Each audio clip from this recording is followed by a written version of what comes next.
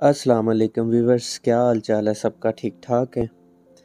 आज हम आपको बताएँगे कि जो मज़दा पैंतीस सौ गाड़ी है, मज़दा लोडर, डाला जिसे बोलते हैं, उसका क्लच बैरिंग सीज़ होने के बाद जो क्लच फिंगरी है, उसके जो कोने हैं, वो घस जाते हैं।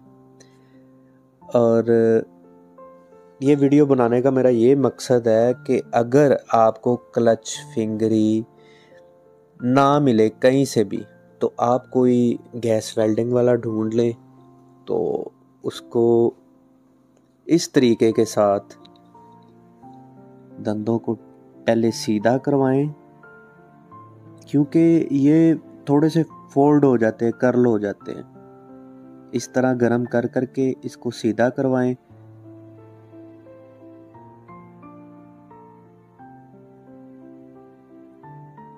सीधा करने के बाद अब इसको, इसके जो दंदे हैं, इसको हम भरेंगे गैस वेल्डंग के साथ, जो गैस का वेल्डंग है।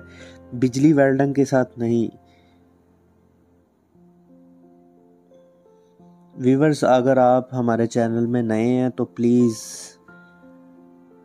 चैनल को सब्सक्राइब करें और बेल आइकन बटन क्लिक कर लें, ताकि कोई भी नई आने वाली वीडियो आप तक पहुँच जाए। अभी इसी तरह हम इसको वेल्डिंग करेंगे।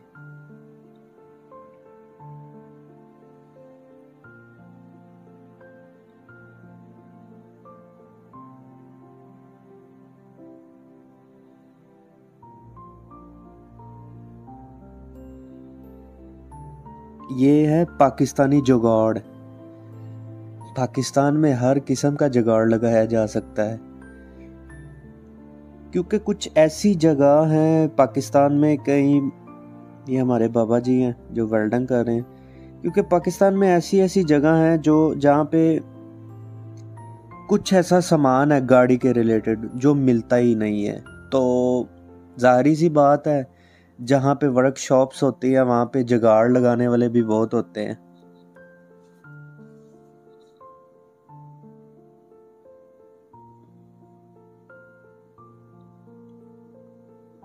इसी तरह एक एक करके हम सारे धंधे को भरेंगे वेल्डिंग के साथ, ये देख लें।